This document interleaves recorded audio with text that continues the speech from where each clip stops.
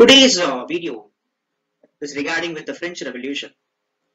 So we are going to, in this video, we are going to you know, look after the part one of the French Revolution. That is the historical background, the importance, and also the causes of the French Revolution. In the part two video, we are going to say about the National Assembly, the causes of the French Revolution, the rise of Napoleon Bonaparte.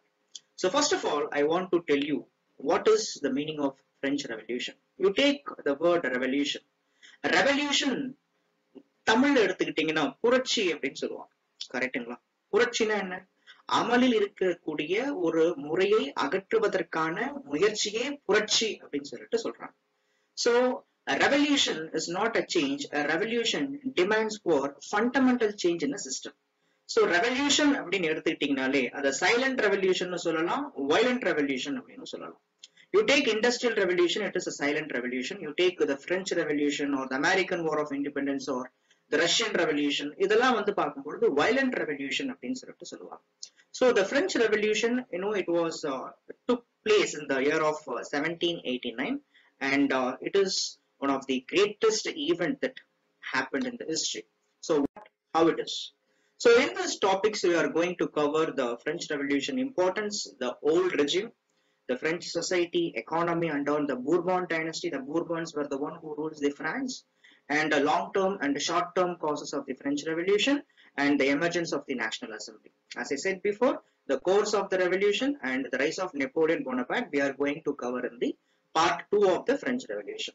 So if you look at the previous year UPSC mains questions, in the year of 2019 there was a question which says about uh, you know explanation how explain how the foundation of the modern world was laid by the american and also the french revolution. So this itself uh, which shows you you know the importance of french revolution. And this uh, uh, french revolution topic will be covering in your uh, gs1 that is gs first paper world history part okay fine. So importance. Why and uh, how the French Revolution, why it has got so much of importance? I hope you know about the importance of the French Revolution. The French Revolution opened a new chapter in the history of Europe. It was the one responsible, it took the responsible for the end of absolute monarchy, feudal laws and social inequality. Absolute monarchy அப்படின்றது நம்ம முடியாட்சி அப்படின்னு சொல்லலாம் feudal laws அப்படின்றது நிலப்பிரபுத்துவம்னு சொல்லலாம் okay the revolution rejected tyranny divine rights of the king and also the conservatism this is all we are going to see one by one so it has given idea of republicanism based on liberty equality fraternity french revolution உடைய தீமே எடுத்துக்கிட்டீங்கன்னா liberty equality and fraternity ன்னு சொல்லுவாங்க சுதந்திரம் சம உரிமை சகோதரத்துவம் So even our Indian preamble holds the ideals of French Revolution. You take uh, Indian preamble, the preface of the Indian Constitution, justice, liberty, equality, fraternity ன்னு சொல்லியிருப்பாங்க. This is where we got from the French Revolution. You take fundamental rights. You take our directive principles of the state policy. இது எல்லாமே வந்து பார்க்கும் பொழுது French Revolution கிட்ட இருந்து தான் French Revolution உடைய ஐடியாலஜில இருந்து தான் நாம எடுத்திருக்கோம். So ideological wise French Revolution it has created uh, so many impact on the so now we are going deep into the concept. if you take into the old regime or the ancient regime in France, the old regime of the France is nothing but the socio-political system which existed in the Europe during the 18th century or even before. The countries were ruled by absolutism. Absolutism is nothing but a monarch. ஒரு மன்னன் அவர்கிட்ட தான் எல்லா அத்தாரிட்டியும் இருக்கும் எல்லா பவருமே இருக்கும் okay it's simple like uh, a dictatorship the monarch had the absolute control over the government the classes of the people they were all you know they were all divided into privileged and also unprivileged people. So the privileged people were the one who did not pay the taxes and treated well whereas the unprivileged people were the one who paid taxes but uh, they were all treated badly. So this is the condition of the system that existed before in europe not only in france in europe before the 18th century Okay, so this is the this image is uh, nothing but a French lady entering into a sedan. You, you can see how much of gauche, how much of lavishness, how much of uh, you know சொல்லுவாங்க தெரியுமா ஒரு மன்னர்களுக்கு R ஆளும் வம்சத்துக்கு எந்த அளவுக்கு முக்கியத்துவம் கொடுத்துருக்காங்கன்றது ஒரு perfect example and this is the map of you know France or the countries in Europe so before that is eighteenth century or even before you you can see there is no republicanism or there is no okay a democratic system existed there everywhere everywhere you can see the kingdom of spain the kingdom of france the kingdom of hungary the kingdom of poland the russian empire the british empire so the the europe was ruled by so many monarchs so it was during this time period okay how the society under the old regime in france the people were divided into three estates ரொம்ப முக்கியமான ஒரு point இது ரொம்ப ஈஸியா ஞாபகம் வச்சுக்கலாம் first estate second estate third estate The first estate consists of high ranking members of the church clergy ன்னு சொல்லுவாங்க bishops popes they enjoyed absolute you know absolute power the second estate consists of the nobles nobles or the generals or the bureaucrats the third estate consists of everyone அதாவது இவங்க ரெண்டு பேரையும் தவிர்த்து the third estate consists of peasants in the countryside to the wealthy bourgeois அந்த வார்த்தையை நீங்க bourgeois தான் படிக்கணும் bourgeois படிக்க கூடாது its spelling is bourgeois The bourgeois were the you know some of the wealthy merchants in the cities. Okay, so they were all the one who follow the merchantilism. So they also considered to be an unprivileged class. So they were all the one really paying the taxes to the government. Okay, but they comes under the unprivileged classes. So if you look at the three estate, this particular tabular column will explain you. The first estate consists of the people, 1,30,000 people they were all the high high ranking clergy இவங்களோட privileges எல்லாம் பாருங்க they collected tithe tithe is nothing but a tax it's a church tax censorship of the press control of education so birth death marriages and also everything பாருங்க பிறப்பிலிருந்து இறப்பு வரைக்கும் நடக்கக்கூடிய எல்லா எல்லா விஷயத்தையும் எல்லா கஸ்டம்ஸையும் ஓன் பண்றது யாருன்னா அந்த பிரிவிலேஜ் யார்கிட்ட இருக்கு அப்படின்னா ஃபர்ஸ்ட் ஸ்டேட் த எக்ஸம்ஷன்ஸ் என்னன்னா they no need to pay any taxes அந்த burdens moral applications rather than legal applications அதாவது நம்ம சொல்லுவோம் இல்லையா உனக்கு நீயே நீதிபதின்ற மாதிரி அவங்களே தங்களை கரெக்ட் பண்ணிட்டாதான் உண்டு அவங்கள கரெக்ட் பண்றதுக்கு எந்த விதமான லீகல் சிஸ்டமே கிடையாது ஓகே அது இருந்தாலும் it is just for name sake okay ஒரு கண் துடைப்புன்னு சொல்லலாம் the second you see the second class they were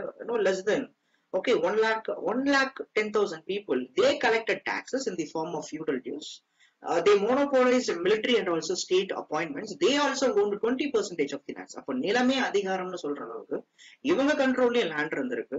So they were all the military administrators இப்போ யூ டேக் இப்போ இந்தியா எடுத்துக்கோங்க. வர்ணாசிரம தர்ப்பம் சொல்லுவோம். பிராமணா சத்ரியா வைஷ்யா சூத்ரா அப்படின்ற சொல்லப்படுறது உண்டு. இது மாதிரி தான் இங்க பிரான்ஸ்ல என்ன நடந்திருக்குன்னா கிளாஸா பிரிக்கிறாங்க. First class second class and also third class first estate second estate third estate the second estate consist of the you know the rulers are the nobles இவங்களும் டாக்ஸஸ் பே பண்ண தேவையில்ல but they supported for the monarchy and also the old regime the third estate if you look at it their population was more than 25 lakhs. Everyone else, artisans, bourgeois, city workers, merchants, and who else not. Okay, இவங்க they had no privileges, they have no exceptions, but you see all the types of taxes they have to pay. They paid all the taxes like the tithi. Tithi is nothing but the church tax. They have to pay a tax called octrot. They have to pay, you know, so many taxes actually. Okay, so இந்த மாதிரி நிறைய even போல் tax, capitation tax, இன்னும் நிறைய இது வரைக்கும் பிரான்ஸ்ல என்னென்ன taxes எல்லாம் இருந்துச்சோ டாக்ஸ் பே பண்ண வேண்டியவங்க யாருன்னா தேர்ட் ஸ்டேட் அப்போ இங்கதான் பிரச்சனை வர ஆரம்பிக்குது எப்படி பிரச்சனை வர ஆரம்பிக்குதுன்னு பாத்தீங்க அப்படின்னா what does this contemporary political cartoon say about the condition in France if you look at the diagram நீங்க பாருங்க ஆளும் ராஜாவோ ராணியோ மக்களை வந்து பார்க்கும் பொழுது மக்களை நசுக்கி அது மேல வந்து பார்க்கும் பொழுது ஆட்சி செலுத்துற மாதிரி இருக்கும். இது அந்த டைம் பீரியட்ல வந்து ஒரு காட்டும் சோ அப்போ என்ன நடந்துட்டு இருக்கு ஏன் இது மாதிரிலாம் நடக்குது அப்படின்னு பாத்தீங்கன்னா the government under old old regime was concept called the divine rights of the கிங்னு சொல்றாங்க. அது என்ன sir divine rights of the king ரொம்ப சிம்பிளுங்க ரொம்ப சிம்பிள் கடவுள் தான் உலகத்தை படைச்சாருன்னு வச்சுக்கோங்க. கடவுள் டைரக்டா மக்களை ரூல் பண்ண முடியாது. அதனால ஆட்சியாளர்களை படிச்சார். சோ ஆட்சியாளர்கள் ஆட்சியாளர்கள் கடவுளுடைய ரெப்ரசன்டேட்டிவா மக்களை ரூல் பண்றாங்க. இங்கதான் நீங்க புரிஞ்சுக்கணும். சோ நீங்க கடவுளை கேள்வி கேட்கக்கூடாது. ஏன்னா அவர் கடவுள். அதே மாதிரி நீங்க ஆட்சியாளர்களையும் கேள்வி கேட்கக்கூடாது. Because they were all the representative of the the same கடவுள் ஆர் காட் இதுதான் என்ன அப்படின்னா divine rights of the king அப்ப கடவுளையோ நீங்க ஆட்சியாளர்களையோ கேள்வி கேட்டா அது அன்னைக்கு குற்றமாக கருதப்பட்டது சோ இந்த ruler can use all his arbitrary power to do anything அதுதான் எங்க கொள்ள சொல்லியிருக்காங்க. பாருங்க. The God put the world in motion the god put some people in position of power. Power is given by the god. No one can question the god. No one can question someone put in power by the god. If questioning the monarchy was uh, blasphemed as questioning the god. So நீங்க ஒரு மொனார்ச்சிய ஒரு மன்னனை கேள்வி கேட்கறது கடவுளையே கேள்வி கேட்கிற மாதிரி எனக்கு கருதப்பட்டுச்சு. அதனால உங்களுக்கு எந்த பனிஷ்மெண்ட் வேணாலும் கொடுக்கலாம். இதுதான் என்னன்னா divine rights of the king so இப்படிதான் பிரான்ஸ் வந்து பார்க்கும்பொழுது எயிட்டீன்த் செஞ்சுரிக்கு மாதிரி இருந்துச்சு. சோ அப்ப கிங்கோடைய கெத் என்ன? ஏன் நான் இதை யூஸ் பண்றேன்னா வாட் இஸ் த கோஷ் அப்படின்னு சொல்லுவாங்கல்ல king who enjoys the ultimate you know power for example he appointed the intendants intendants are nothing but அன்னைக்கு பிரான்ஸ் வந்து பார்க்கும்பொழுது தேர்ட்டி டிஸ்ட்ரிக்ட பிரிச்சிருக்காங்க. இன்னைக்கு நம்ம ஐஏஎஸ் ஆஃபீஸர்ஸ் சொல்ற மாதிரி அன்னைக்கு அந்த கிங் தான் வந்து பார்க்கும் பொழுது ஓகே அந்த தேர்ட்டி டிஸ்ட்ரிக்ட்ஸையும் யார் ரூல் பண்ணணும் அப்படின்னு சொல்லிட்டு முடிவு பண்ணாங்க he appointed the people who could collect taxes and carry out the laws S okay அப்ப பாருங்க ரெவென்யூ கண்ட்ரோலும் கிங் கண்ட்ரோல் தான் இருக்கு so he controlled justice by appointing judges judicial கண்ட்ரோலும் king control தான் இருக்கு he controlled the military military கண்ட்ரோலும் king control தான் இருக்கு he could imprison any person at any time for the reason for any reason the black warrants of arrest were called letters d catch it அப்படின்னு சொல்றாங்க அதுதான் என்ன அப்படின்னா king he can use his arbitrary power யாருடைய வீட்டுக்கும் போய் எந்த ஒரு காரணத்தையும் சொல்லி பன்னெண்டு மணிக்கு அவர் அடிச்சு ஓகே கொல்ல கூட செய்யலாம் யாருமே கேட்க முடியாது so he limit all the taxes and decided how to spend the money so financial கண்ட்ரோலும் king control தான் இருந்துச்சு he made all the laws so he made all the decisions so already the king was enjoying supreme power in addition to all those things the king okay he is considered to be a divine this is what we call it as the divine rights of the king so இப்படிதான் France இருந்துட்டு இருந்துச்சு so இப்படி இருக்கும் பொழுது how was the economical condition of the france the france economy was based primarily on agriculture please remember the peasants farmers of the france bore the burden of taxation the poor harvest means the peasants had trouble paying the regular taxes so ரொம்ப சிம்பிளான ஒரு விஷயம் உங்களுக்கு நான் சொல்லணும் என்ன அப்படின்னா when a country was in a burden of heavy taxation this is going to be a disaster for that country. Okay நல்லா புரிஞ்சுக்கோங்க. வியர்வை துளிகளுக்கு விழா எடுத்தால்தான் அவர்களால் இந்த சமுதாயம் பன்னீர் துளிகளை பரிசாக பெற முடியும்னு சொல்லிட்டு ஒரு புது கவிஞர் சொல்லுவார் ஆக்சுவலா ஒரு நாட்டை ரொம்ப முக்கியமான ஒரு செக்ஷன் யாருன்னா விவசாயிகள். விவசாயிகளுடைய முன்னேற்றத்துக்கு ஒரு கவர்மெண்ட் எப்பயுமே இம்பார்ட்டன்ஸ் கொடுக்கணும்.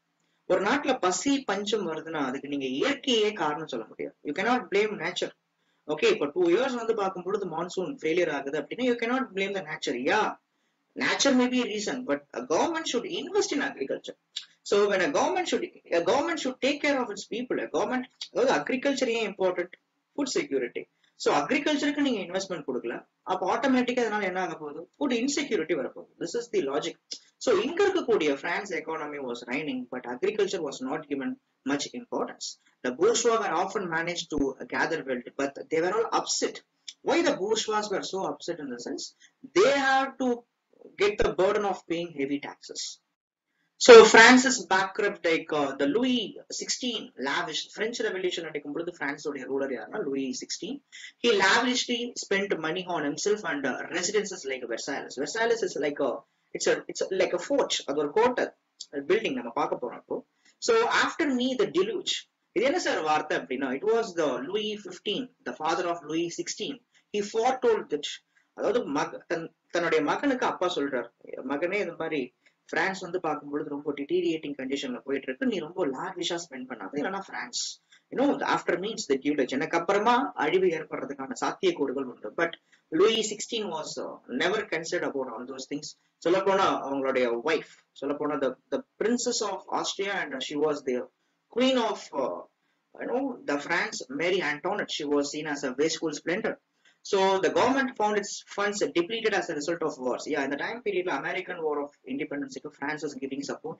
And French Revolution முன்னாடி இந்தியாவுல கர்நாடிக் வார் நடந்துட்டு இருந்துச்சு. இதுக்கும் பிரான்ஸ் வந்து பார்க்கும் பொழுது அதிகமா ஃபண்ட் கொடுத்துட்டு இருந்தாங்க. And also there was a concept of deficit spending was there government spending more money than it takes இந்த ஃபார்ம் ஆஃப் டாக்ஸ் ரெவன்யூ வருவாயை விட அதிகமா செலவினங்களுக்கு போச்சுன்னா அதை டெபிசிட் ஸ்பெண்டிங்னு சொல்லிட்டு சொல்லுவாங்க. ஸோ பிரான்ஸ்ல இந்த மாதிரி கண்டிஷன்ஸ்லாம் நடந்துட்டு இருந்துச்சு.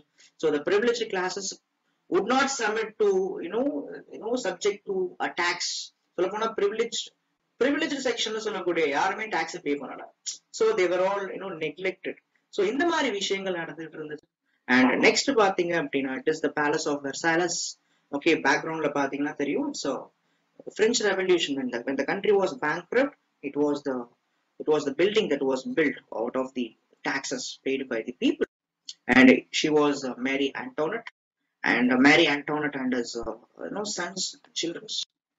So philosophy of the age, philosophy நல்லா புரிஞ்சுக்கணும். பிரெஞ்சு ரெவல்யூஷன் நடக்கிறதுக்கு மிக முக்கியமான ஒரு காரணம் என்ன அப்படின்னா it was the enlightenment ideas ஒரு சமுதாயத்தில் புரட்சி ஏற்பட வேண்டும் என்றால் நாட்டு மக்களின் மனநிலையை நாட்டின் தத்துவ ஞானிகள் மாற்ற வேண்டும்னு சொல்லுவாங்க.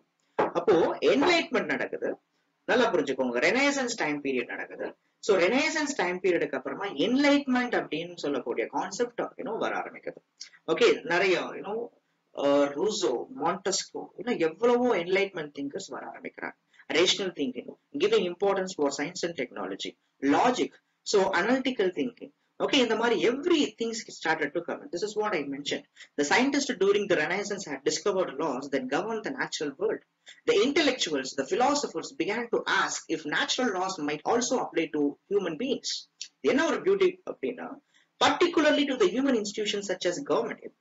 Before, okay, உங்களுக்கு புரியுற மாதிரி சொல்லணும் அப்படின்னா before before the government is considered to be so supreme the ruler is considered to be so supreme but now come to understanding okay that it is for the rulers only for the peoples மக்களுக்காக தான் மன்னர்கள் மக்களுக்காக தான் government okay so இந்த மாதிரி விஷயங்கள் வர ஆரம்பிக்குது எதுக்காக ஏன் அப்படின்ற கான்செப்ட் கொஷின் கேட்க ஆரம்பிக்கிறான் The philosophers were so secular in the thinking, they used reason and logic rather than the faith, religion and superstition to answer any so மூட நம்பிக்கைகள் பின்னாடி போகாம இந்த டைம் பீரியட்ல they use science and science and technology they use logic so இந்த மாதிரி காரணங்களால you know they were all the one who questions the divine rights of the king so finally if you uh, check it out the long term and short term causes for deflation you can see okay absolutism is the reason for this unjust socio-political regime the poor harvest which left peasant farmers with little money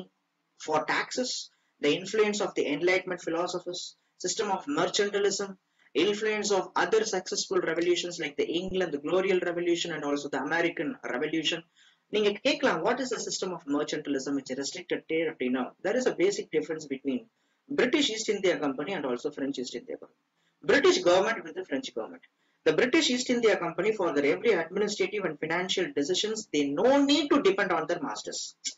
Whereas the French East India Company for their every administrative and financial decisions, they have to depend on their masters. அப்படின்னா என்ன அர்த்தம்? British government பிரிட்டிஷோடைய ட்ரேட்ல இன்டர்ஃபியரே பண்ணக்கூடாதுன்னு ஒரு policy வச்சிருந்தோம் independence trade policy laissez faire policy but French government அப்படி கிடையாது. French government French trade பண்ண French East India company பண்ணக்கூடிய எல்லா ட்ரேட்லயும் இன்வால்வ் ஆனாங்க. புரியுதுங்களா? சோ இந்த மாதிரி விஷயங்கள்லாம் நடந்துகிட்டு இருந்ததுன்றதை நான் சொல்ல வரேன். சோ இதெல்லாம் long term causes of the French revolution short-term causes of the French Revolution, it was the immediate cause was the bankruptcy. Okay பேங்க்ரப்சின்றது நாடு திவால் ஆகுது ஓகே நாட்டுடைய பொருளாதாரம் திவால் ஆகுது டிபிசிட் ஸ்பெண்டிங் அண்ட் இந்த பொருளாதாரம் டிவாலாக போகுதுன்னு சொல்லிட்டு ஆல்ரெடி பிரான்ஸ்ல பிரான்ஸோடைய finance ministers like Turgot Necker இவங்க எல்லாமே ப்ரப்போஸ் பண்ணாங்க. Okay but these proposals were rejected by the ruling classes and the greatest fear is what அப்படின்னா the worst famine in the memory the hungry impoverished peasants feared that the nobles at estate general were seeking greater privileges. Attacks on the nobles occurred throughout the country in 1789. ஒண்ணுமே கிடையாது.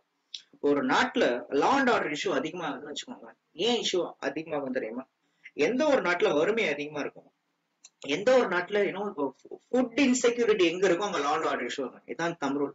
Whenever the country was paying you know இன்னும் law order issue அதோடைய primary reason என்னன்னு சொல்லிட்டு பாத்தீங்க இப்ப டக்காய்டி அதிகமா நடக்குது அப்படின்னா அவங்கள இன்னும் அன்பிரிவிலேஜ் செக்ஷனா இருப்பாங்க ஆக்சுவலா அவங்க சாப்பாட்டுக்கே கஷ்டப்படுறவனா இருப்பான். திருடியாவது சாப்பிட்டாகணும் பொழுது ஆட்டோமேட்டிக்கா லாண்ட் ஆர்டர் இஷ்யூ வர இதே கண்டிஷன் தான் பிரான்ஸ்ல வரும்.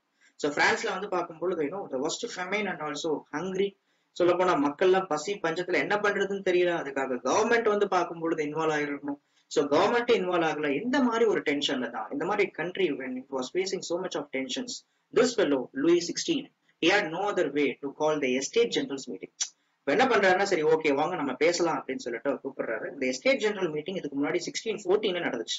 சிக்ஸ்டீன் ஃபோர்டீன் காமனரா நம்ம படிக்கிறது செவன்டீன் எயிட்டி நைன் அப்ப பாருங்க how much of difference so estate general meeting வந்து பார்க்கும்பொழுது கால் பண்றாரு. சரி வாங்க பேசலாம் அப்படின்னு சொல்றாரு.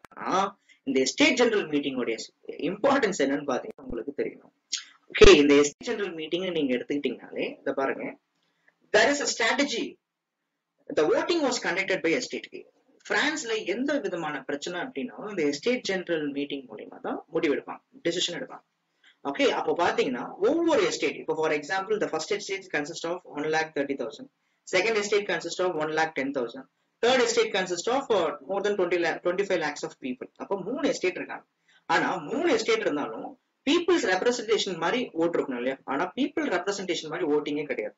ஃபர்ஸ்ட் எஸ்டேட்டுக்கு ஒரு ஓட் செகண்ட் எஸ்டேட்டுக்கு ஒரு ஓட் தேர்ட் எஸ்டேட்டுக்கு ஒரு ஓட் அப்போ டோட்டலா மூணு ஓட்டு தான். தேர்ட் எஸ்டேட் பீப்புள்ஸ் அதிகமா இருந்தாலும் ஃபர்ஸ்ட் அண்ட் செகண்ட் எஸ்டேட் என்ன பண்ணுவாங்க அப்படின்னா அவங்க என்னதான் அவங்களோட டிமாண்ட்ஸ் வச்சாலும் இந்த first and second estate they can override than demand so இதான் கொடுத்துருக்காங்க. The each estate had one vote the first and second estate could operate as a block to stop the third estate having its own way so இந்த மாதிரி வந்து பார்க்கும் பொழுது you know when the estate general meetings was convened there was a deadlock was resulted because the third estate இருக்கக்கூடிய people அதிகமா அவங்களோட demands வைக்கிறாங்க ஆனா but it was it was in a deadlock it was administrative bottlenecks because the first and second estate அவங்க ஃப்ரீயா வந்து பார்க்கும் பொழுது என்ன பண்ணல அப்படின்னா தேர்ட் எஸ்டேட்டோட டிமாண்டை கன்சிடரே பண்ணல they were all you know ignoring it and they were all okay you know giving a detail so இந்த மாதிரி டைம் பீரியட்ல தான் you can see the vote one vote for one lakh thirty thousand twenty five lakhs vote for one and one vote for one lakh ten thousand so இந்த மாதிரி சூழ்நிலையில tennis court oath the third estate என்ன பண்றாங்க they were all coming out of the estate general meeting the third estate declared its, itself to be a national assembly தங்களை தான் வந்து பார்க்கும் பொழுது ஒரு national assembly கன்சிடர் பண்றாங்க Louis XVI responded by locking the third estate out of the meeting irrespective of this the third estate relocated to a nearby tennis court Where its members owed to stay together and create a written constitution for France. Okay அப்ப என்ன நடக்குது? So உண்மையான ராஜா இருந்தாலும் உண்மையான estate அதாவது first estate second estate இருந்தாலும் இந்த third estate தங்களை தான் வந்து பார்க்கும் பொழுது பிரான்ஸோடைய இந்த ஒரிஜினல் சிட்டிசன்ஸ் அண்ட் பிரான்ஸோடைய ரியல் சிட்டிசன்ஸ் அண்ட் பிரான்ஸோடைய கான்ஸ்டியூஷனை எழுதணும்னு முடிவு பண்றாங்க. So on June twenty third seventeen eighty nine Louis sixteen relented and he order the three estate to convene together and to act as a national assembly so இந்த மாதிரி estate this is the images I have given the tennis court oath by Jacques Louis David so இந்த tennis கோர்ட்ல தான் என்ன பண்ணுவாங்க அப்படின்னா they have taken the oath for okay establishing national assembly so national assembly establish பண்ணணும்னு முடிவு பண்ணுவாங்க. But என்ன ஆகும் அப்படின்னா in countryside okay the things goes very wrong சொல்ல போனா by you know by by October by July August September by October பிரான்ஸ்ல வந்து பார்க்கும் பொழுது இன்னமும் ரொம்ப ஒஸ்ட் கண்டிஷன் ஆகும். ஸோ பீப்புள் என்ன பண்ணுவாங்க அப்படின்னா they are they felt you know discomfort they felt despair அதனால யூனோ பேஸ்டல் ஃபோர்ட்டை டெஸ்ட்ராய் பண்ணிட்டு அங்கிருந்து ஹார்ம்ஸ் எடுத்து okay ruling clan or ruling rulers எதிர்த்து ஃபைட் பண்ணுவாங்க. ஸோ இப்படிதான் பிரெஞ்சு ரெவல்யூஷன் ஆரம்பிக்கும். புரியுதுங்களா? So these are all the some of the questions you can review you can see So what was the old regime and how it was? How does an absolute monarchy operate? So describe the size, privileges and exemptions and burdens of the three estate. What is deficit spending? So these are all the some of the review questions for it. So part one video ends here and in the next video I'm going to tell you how the National Assembly functioned and how was the course of the revolution and how the revolution has given rise for Napoleon Bonaparte. So thanks for listening thanks for watching. All the best. Jai